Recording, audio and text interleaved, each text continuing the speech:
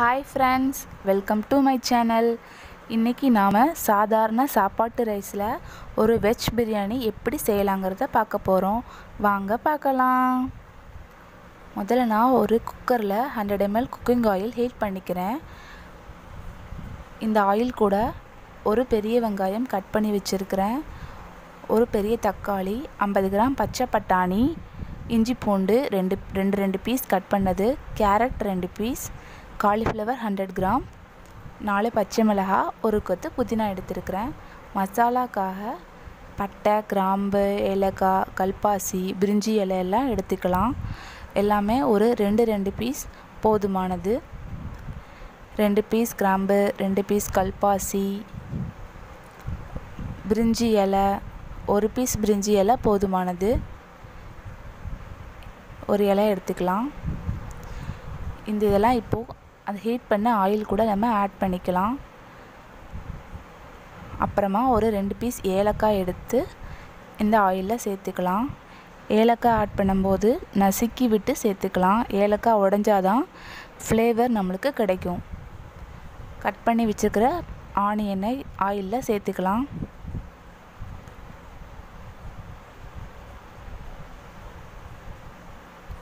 Onion நல்லா fry ஆகட்டும். Brownish colour வர வரைக்கும் நம்ம ஃப்ரை பண்ணிக்கலாம். இஞ்சி பூண்டு கட் பண்ணதை இது கூட நான் ஆட் பண்ணிக்கிறேன். ஒரு ரெண்டு பீஸ் பூண்டு ஒரு ஒரு துண் சின்ன துண்டு இஞ்சி போதுமானது.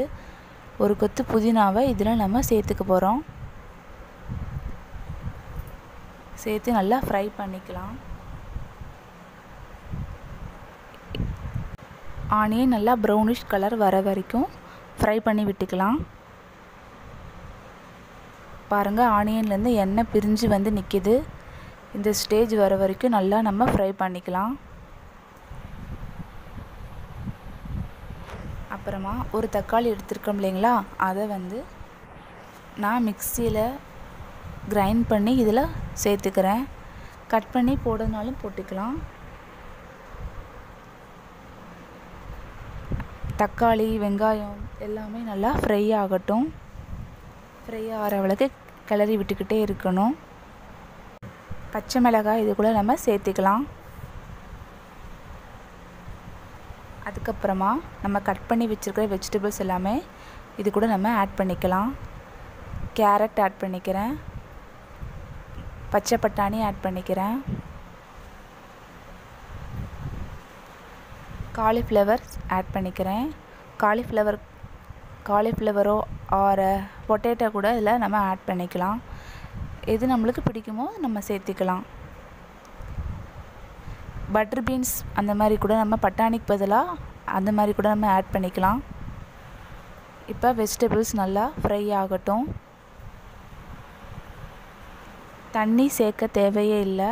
தக்காளியில் உள்ள தண்ணியே பாருங்கள் எவ்வளோ ஜூஸியாக வெஜிடபிள்ஸ் ஃபுல்லாக நிறைஞ்சிருக்கு. இதிலையே நம்ம குக்கிங் வெஜிடபிள்ஸ் குக்கிங் ஆகிடும் மசாலா எடுத்துக்கலாம். அரை ஸ்பூன் மஞ்சள் தூள் ரெண்டு ஸ்பூன் மிளகாத்தூள் ஒன்றரை ஸ்பூன் பிரியாணி மசாலா. இதில் நான் சேர்த்துக்கிறேன். மசாலா சேர்த்ததுக்கப்புறமா நல்லா கிளறி விட்டு மசாலா காய்கறிலெல்லாம் ஆட் ஆகிற மாதிரி கிளறி விட்டு வதக்கிக்கலாம். ஸ்டவ்வை லோ ஃப்ளேமில் வச்சு நம்ம கிளறி விட்டுக்கலாம். அடிப்பிடிக்காமல் பார்த்துக்கணும்.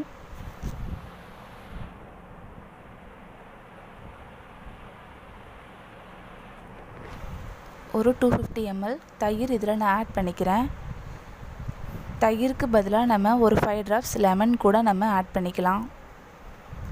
ஃபார் டேஸ்ட்டுக்கு தான் இது. நல்லா ஃப்ரை பண்ணிக்கணும்.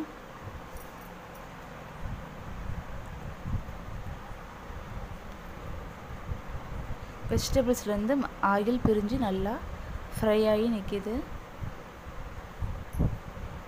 அடிப்பிடிக்காமல் கிளறி விட்டுக்கலாம். ஆஃப் கேஜி புழுங்கலரிசியை நான் ஆஃப் அன் ஹவர் ஊற வச்சு எடுத்துருக்கிறேன் மெஷருக்காக இந்த கப்பில் நான் சேர்த்துக்கிறேன். எனக்கு ரைஸ் வந்து ஒன்றே முக்கால் கப் இருந்தது. மெஷர் எதுக்குன்னா தண்ணி சேர்க்கறதுக்கு தான். ஒரு பங்கு அரிசிக்கு ரெண்டு பங்கு நான் தண்ணி சேர்க்க போகிறேன் மசாலா எல்லாமே ரைஸில் மிக்ஸ் ஆகிற மாதிரி கிளறி விட்டுக்கலாம். கிளறும்போது அரிசி உடஞ்சிடக்கூடாது. மெதுவாக கிளறிக்கலாம்.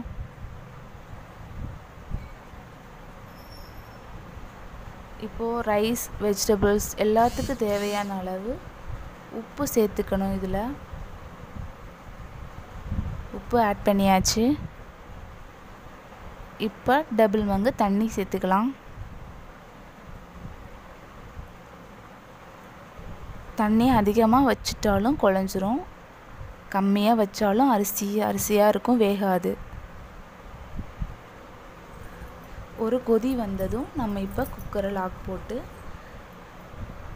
வெயிட் போட்டுடலாம் குக்கரில் வெயிட் போட்டாச்சு ஃப்ரீயாக விட்டுடலாம். ஒரு ரெண்டு விசில் வரட்டும். அதுக்குள்ளே நம்ம ஒரு தயிர் பச்சடி ரெடி பண்ணிக்கலாம். ஒரு பெரிய வெங்காயம் கட் பண்ணி வச்சுருக்கிறேன்.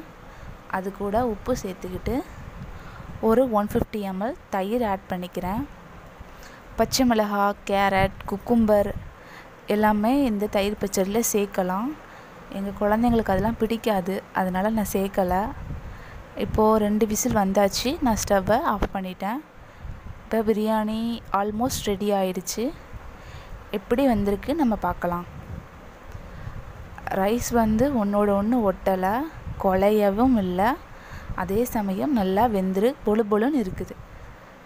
இப்போது பாஸ்மதி அரிசியா ஜீரக சம்பாவா இல்லை சாதாரண புழுங்கல் அரிசி தானான்னு யாராலும் கண்டுபிடிக்க முடியாது. சூப்பரான வெஜ் பிரியாணி ரெடி. சூப்பரான தயிர் பச்சடியோடு சாப்பிடலாம். இந்த வீடியோ உங்களுக்கு பிடிச்சிருந்ததுன்னா லைக் பண்ணுங்கள் ஷேர் பண்ணுங்கள் கமெண்ட் பண்ணுங்கள் மறக்காமல் சப்ஸ்கிரைப் பண்ணுங்கள் ஃப்ரெண்ட்